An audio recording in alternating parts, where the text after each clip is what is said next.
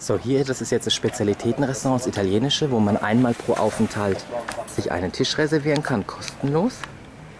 Ja, und hier habt ihr wirklich, also wenn ihr hier abends draußen sitzen tut, habt ihr einen traumhaft tollen Blick hier auf die Bucht und auf den Strandabschnitt von Magic Life Calabi.